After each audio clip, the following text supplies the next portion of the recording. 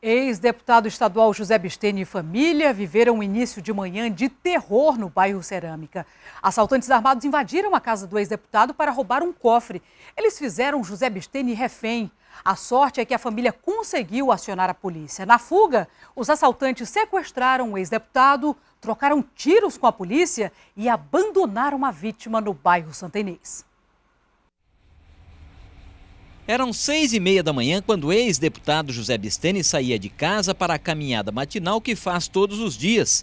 Ele foi abordado por três homens armados e encapuzados e levado de volta ao interior da residência. Os bandidos queriam dinheiro. Familiares que ainda dormiam perceberam a movimentação e ligaram para a polícia.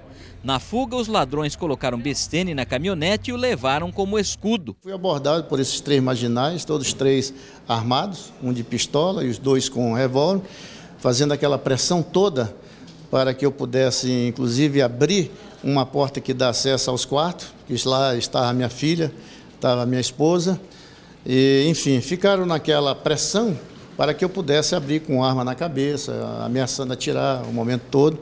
Foi quando foi comunicada a polícia e aí eles pediram para mim entrar no meu carro. E saíram comigo na minha, no meu carro e a polícia em calço. Durante a perseguição, houve troca de tiros entre a polícia e os bandidos que abandonaram a caminhonete com José Bestene nas proximidades da corrente. Quando há vidas em jogo, nossa responsabilidade é maior, né? Então, mesmo que eles atirem, que o marginal tenha um tiro irresponsável, nós primamos pela vida, né? Nosso bem maior é a vida, então a gente sempre tem, a gente recua e faz o cerco tático, faz, faz o, o, a comunicação via rádio para as outras regionais, para o segundo batalhão, e é feito o cerco tático como foi feito hoje nessa manhã. O delegado Carlesso Nespoli, que investiga o caso, aguarda a realização de novas perícias e busca pistas sobre os assaltantes que nada roubaram.